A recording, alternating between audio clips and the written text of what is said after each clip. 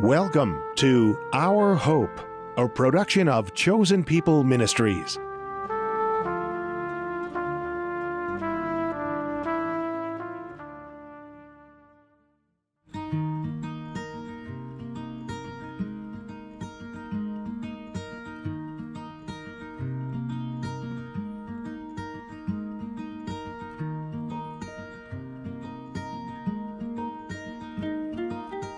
John the Baptist, Peter, and Paul have in common?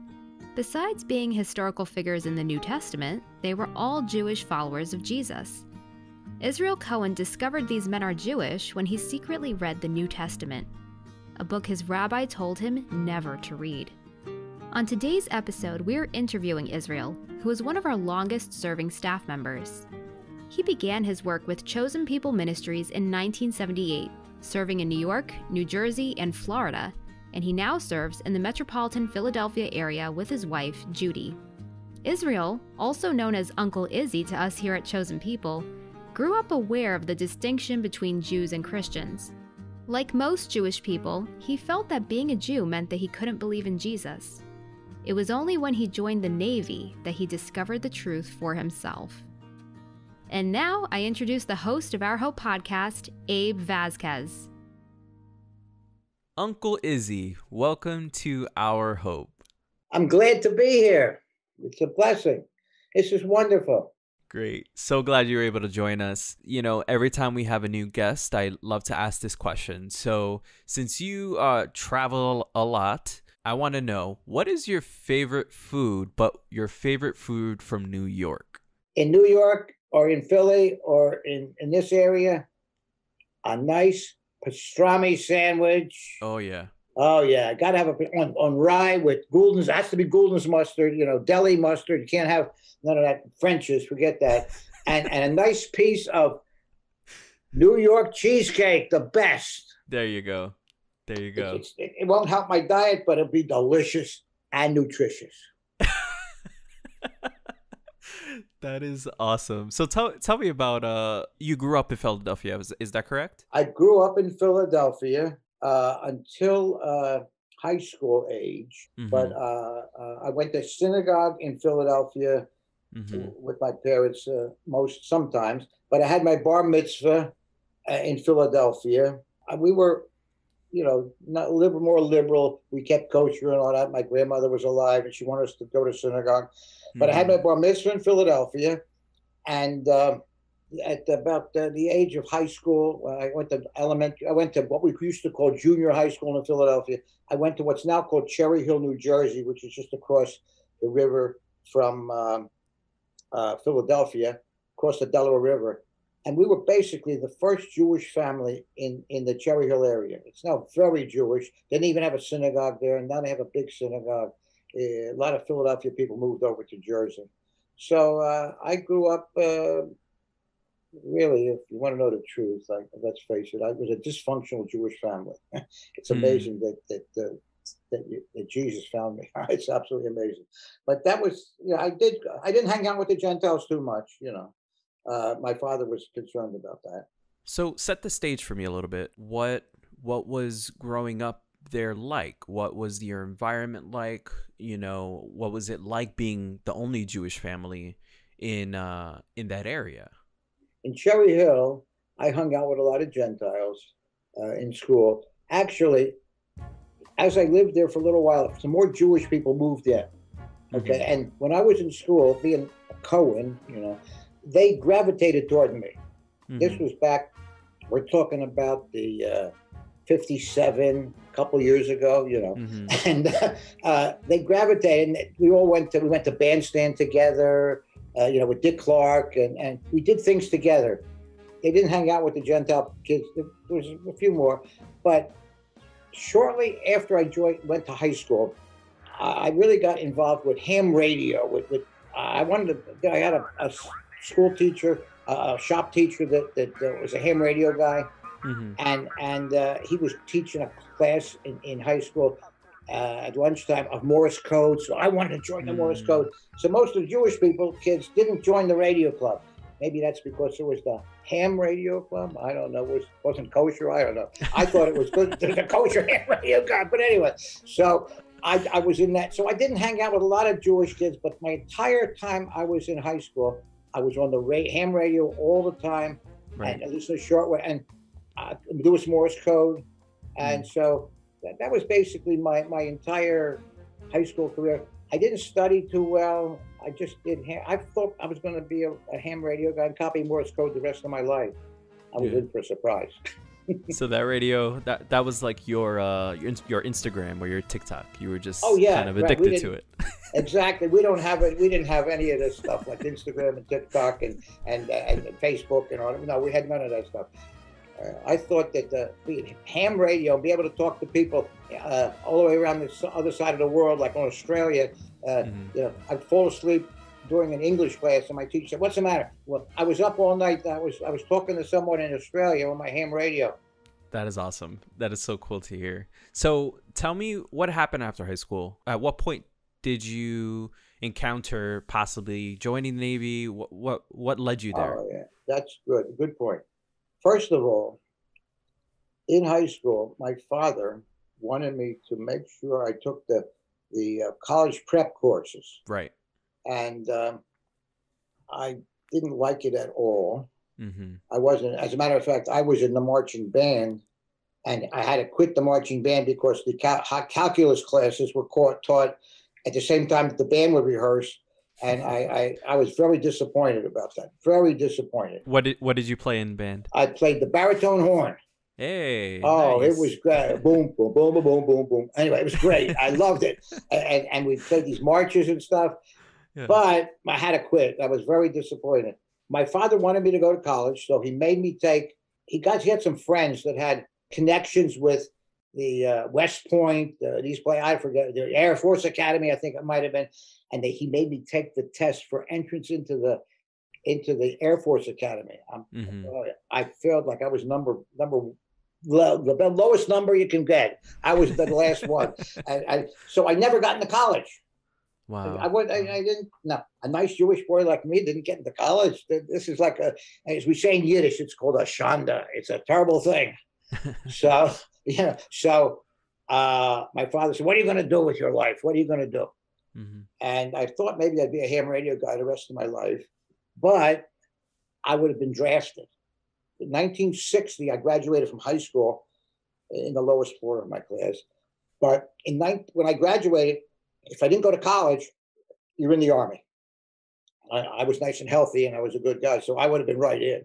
So in my senior year of high school, I applied to join the Navy, mm-hmm. and um, they let I accepted on a Friday in June of 1960. Friday, I was in high school graduating. On a Monday, I was flying to Great Lakes, Illinois, to boot camp wow. for the United States Navy, mm. and and then marching and screaming and. That I would never forget this. This was so. There's two things that were incredible in the Navy. One was I get off the bus at Great Lakes, Illinois, and I'm walking along, and he says, "Run, run, run, Cohen, run, run!" I said, uh, uh, sir, uh, I don't run.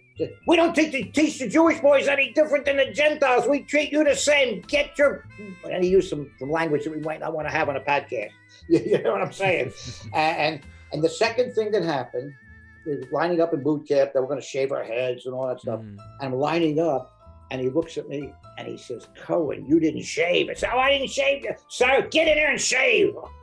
And I, I, I never really shaved up until that point. I was a late bloomer, and I came out with blood all over my clothes and stuff. He said, Cohen, I didn't ask you to commit hari-kari. Stop that. What are you got? Blood? Oh, it was terrible.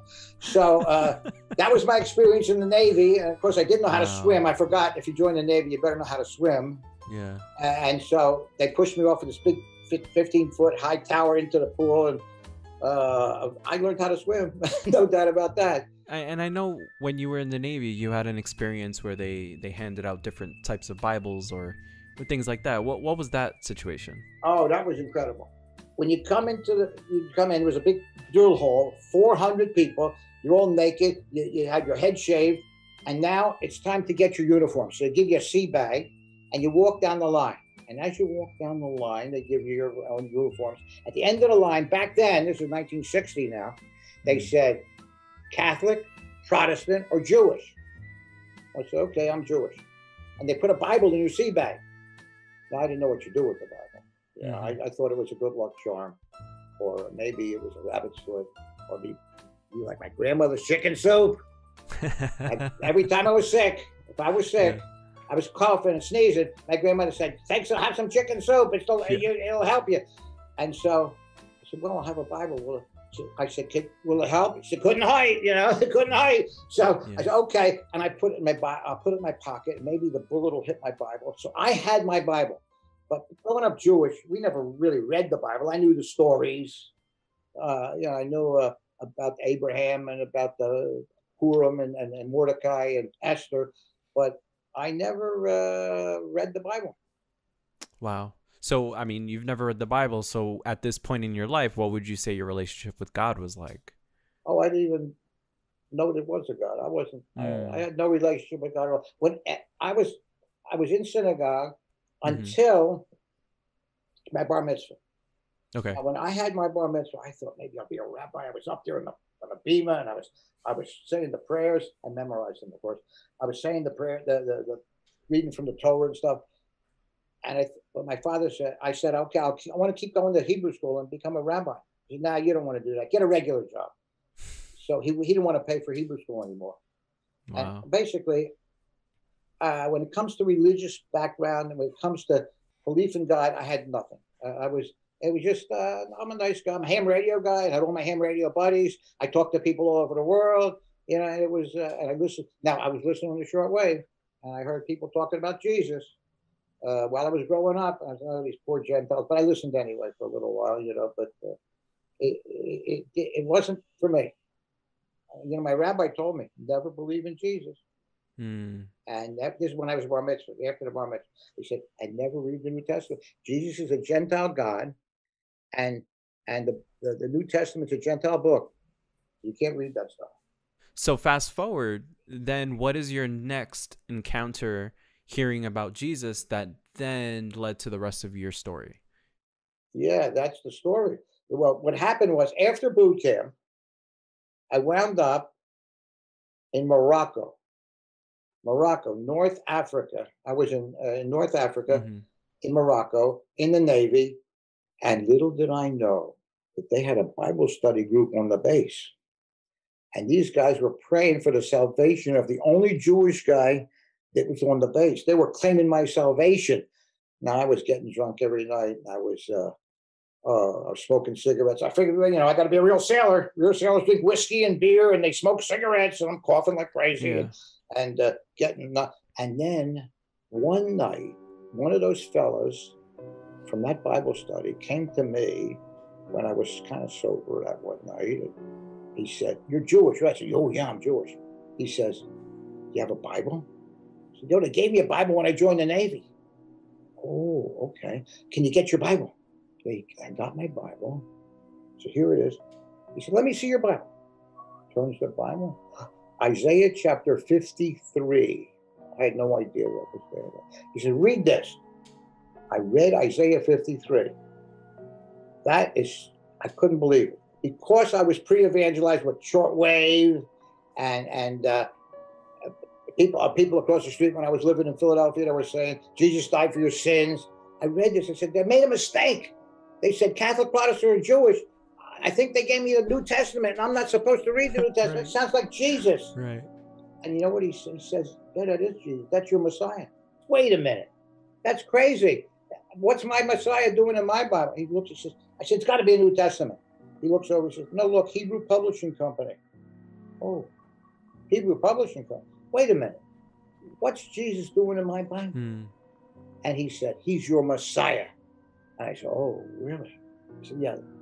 And he then shared with me about Jesus, but uh, he wanted to, me to read the New Testament. And I was really a little scared about that. I, he, he, said, uh, let's read something in the New Testament. He said, no, I can't. My rabbi told me never read the New Testament. Mm-hmm. And what he did was, he said, look, he looked over here and he looked around and he said, where's your rabbi? He's 3,000 miles away in Philadelphia. I won't tell your rabbi that you read the New Testament if you don't tell him. Oh, I was scared. I really was. I thought I thought lightning was going to hit me.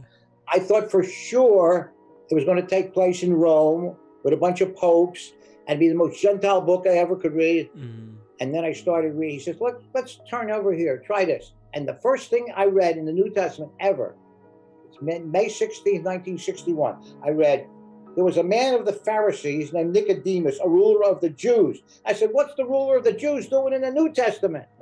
He said, He's your he's Jewish. It's a Jewish book. Read the rest of it. And I read the whole third chapter of John. I read first time in my life. A nice Jewish book. Never heard it before. John 3 16. For God so loved the world that he gave his only begotten Son, that whosoever believes in him should not perish, but have eternal life. That's your Messiah.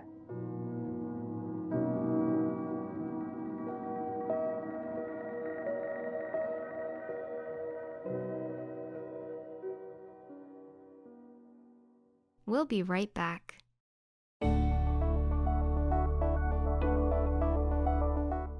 Shalom, my name is Nicole Vaca, and I'm one of the co producers of Our Hope podcast.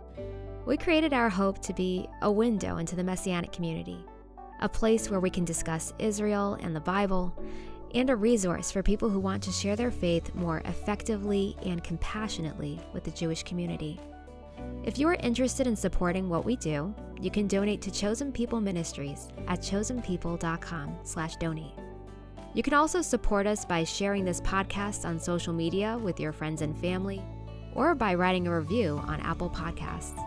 We are so grateful for your support, and we hope you enjoy the rest of this episode.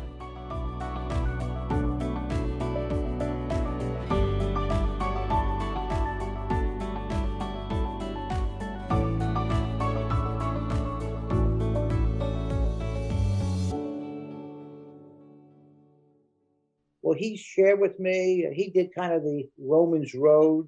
You know, he went through some verses from the book of the Romans. But actually, today, we can do the Isaiah Trail, the entire gospel from the Jewish scriptures, from the Old Testament. I don't like to call it the Old Testament. I like to call it the former covenant. We use the word Tanakh. That's a, mm-hmm. a, an acrostic for the Old Testament. Uh, so yeah, that was and that night, I, he he did say this to me. He said, "Are you enjoying your life?" I said, no, uh, actually, I'm making pretend. See, I thought this was a Gentile thing, getting drunk, going with the women, smoking, uh, uh smoking cigarettes, uh, uh, getting drunk. I said it's a Gentile thing. I'll just make pretend like I enjoy it. He said, if you believe in Jesus, you don't have to make pretend anymore. And you can have a relationship with God. And he forgives, forgives all your sins. A relationship with God. Mm-hmm. And it's through the finished work of Jesus.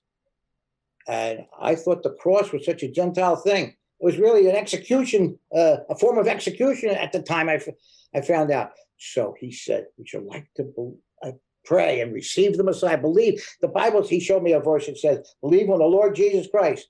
I thought Jesus Christ was a Gentile word. It's really Yeshua, the Messiah. Mm-hmm. It's really a Jewish guy, a Jewish, Jewish guy around. He's born of a, he's born, born Jewish. He, uh, seed of David, etc he said, Why don't you pray with me and believe in Jesus? And I said, Well, uh, let me think. He gave me his New Testament and he marked up some verses and put markers in there. And uh, he said, Well, you pray about it and you read this. Said, so I went to bed. Now, I was in a drill hole, uh, in a barracks rather, and uh, it was like three o'clock in the morning, and you can't turn the lights on at three o'clock in the morning. I'd be in major trouble. Mm-hmm took a blanket and I put it over my head. And there was a light. I was in the top bunk, and there was a light up there. And I put the light on it under the covers. And I, I, I went. Uh, I'm supposed to believe in Jesus. Let's see. I'm supposed to pray to Jesus. So I prayed. Melech. Oh, wait a. I don't know if that's the right way. I was praying like in synagogue with the Hebrew.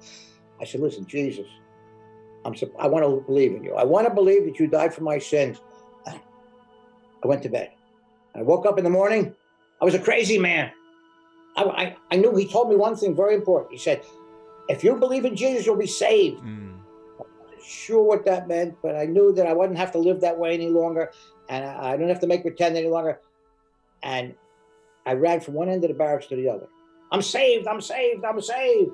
And that guy came out, the, the guys that were doing the Bible, they came out, they pulled me in and said, What'd you say? Well, I told Jesus I believe in him. Hey, guys, come here. Israel believes in Jesus. Come on, uh, come on, put your hands, uh, uh, let's pray with them. And they put their hands on me, they prayed for me that I would grow and I would learn more about the Lord.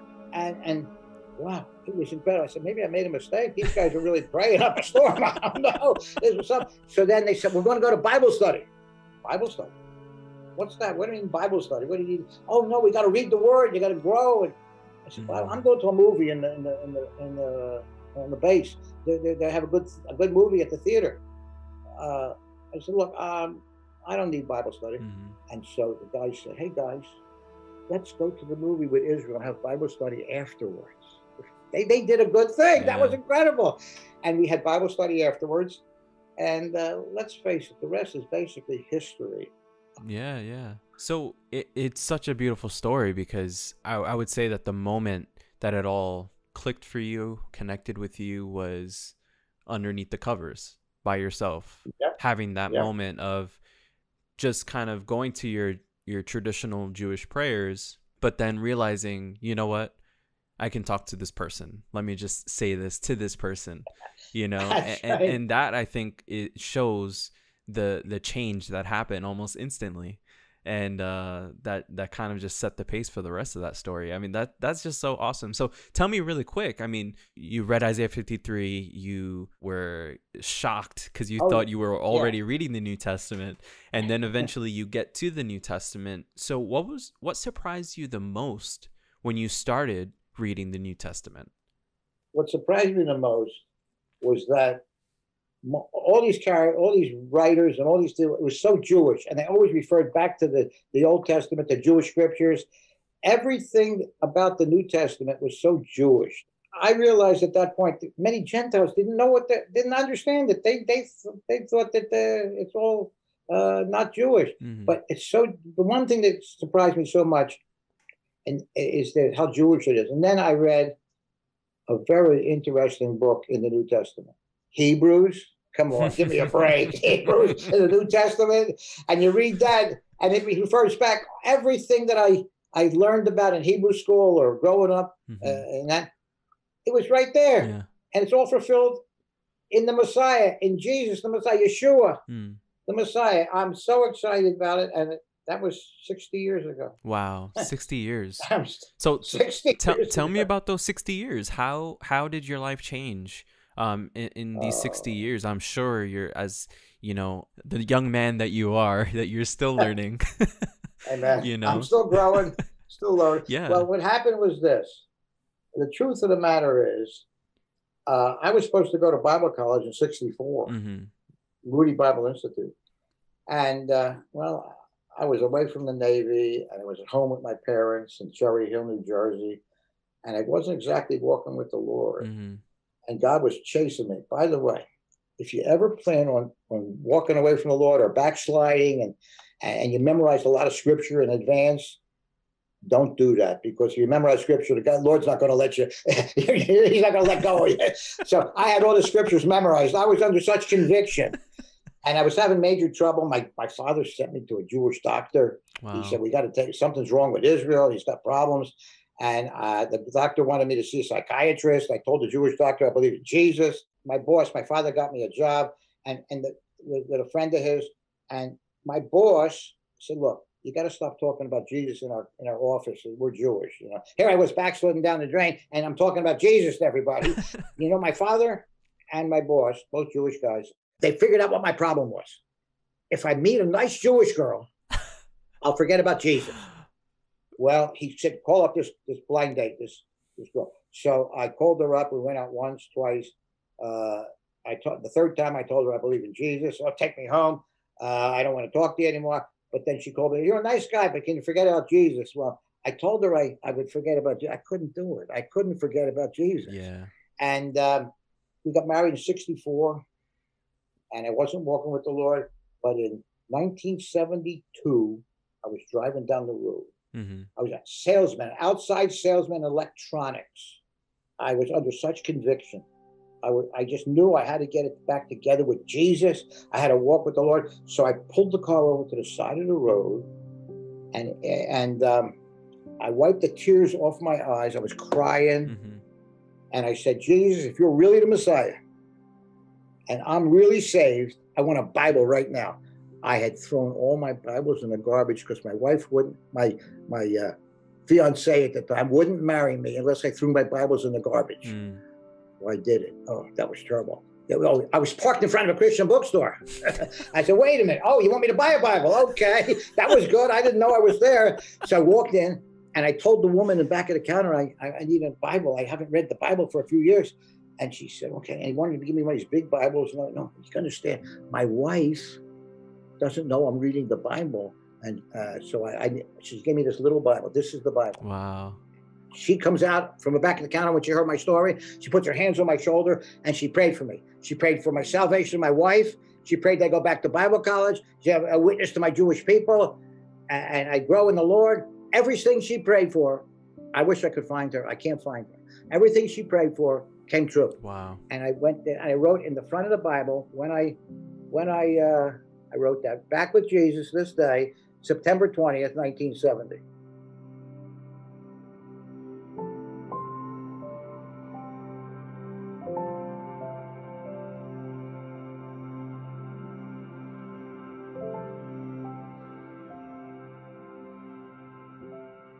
Finally, I said to Judy, it's now the summer of 72.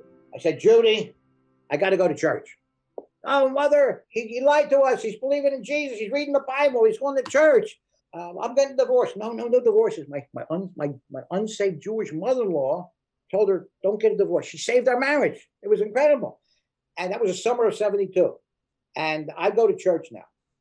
In October 1st, 1972, I went to church, but she went to go roller skating with these guys, mm-hmm. but they weren't going roller skating anymore. They got together with Jesus, and they were going to church Sunday night.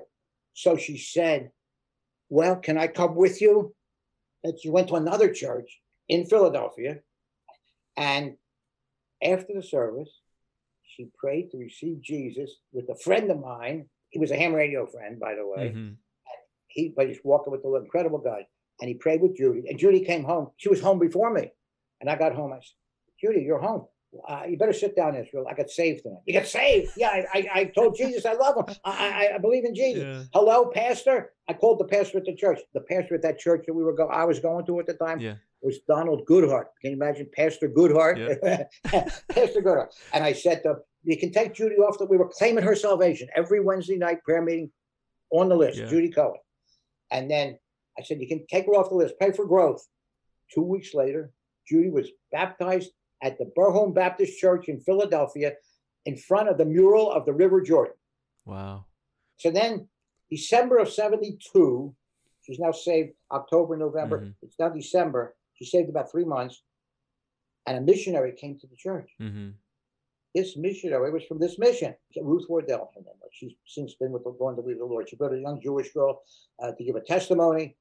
And afterwards, Pastor Goodhart said, I'd like you to meet our Jewish believers, Israel and Judy. and, and, and so this young girl that came with them, her name was Kitty, Kitty Simon. Kitty said, You know who Joe Finkelstein is? Joe Finkelstein. Now, who's he? You don't know what's going on in West Philadelphia? Remember, it's now 1972. Mm-hmm. It was the, the, kind of the, the middle of the, the Jesus movement and, and, and, and the, the Woodstock and all that stuff. Right. And Jews and Jews were getting saved. It was a revival amongst young Jewish kids.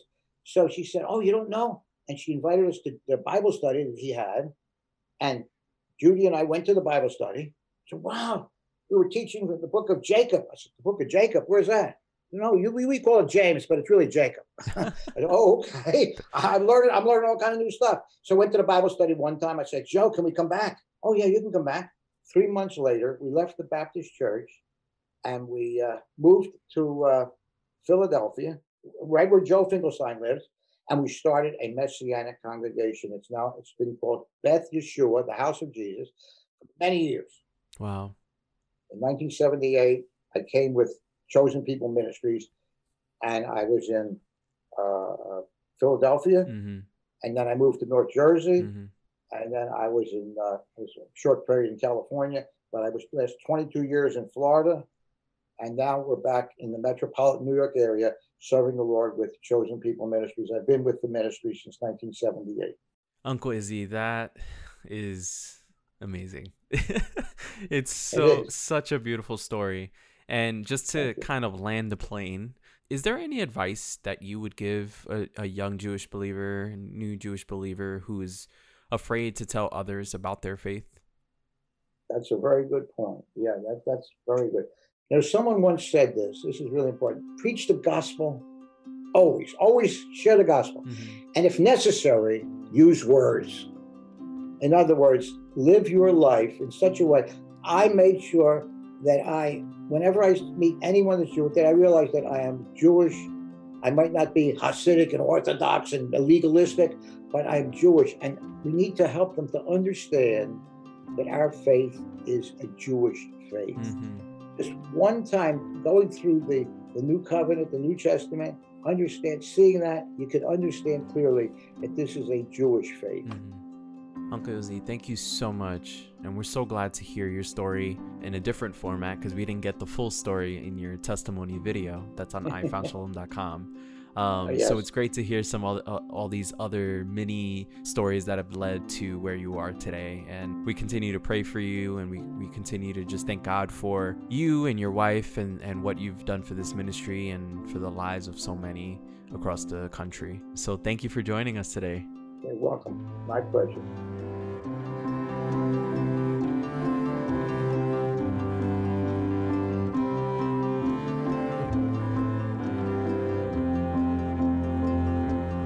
But he was pierced through for our transgressions, he was crushed for our iniquities. The chastening for our well being fell upon him, and by his scourging we are healed. This messianic prophecy in the Old Testament has paved the way for many Jewish people to find their Messiah. The New Testament is a continuation and completion to the full story of salvation which God had planned from the very beginning. As a Jewish believer in the Messiah, Israel's faith is now complete. For those of us who follow Messiah, we can lovingly show our Jewish friends and family the messianic prophecies in the Old Testament. And when the time is right, invite them to read the rest of this redemption story. Thank you for listening to this week's episode of Our Hope. This episode was brought to you by Dr. Mitch Glaser, Israel Cohen, Nicole Vaca, Grace Sui, Kyron Bautista, and Neil Saraski. I'm Abe Vasquez. Until next time.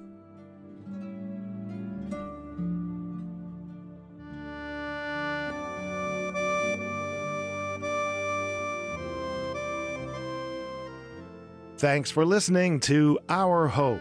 If you like our show and want to know more, check out ourhopepodcast.com or chosenpeople.com. See you next time.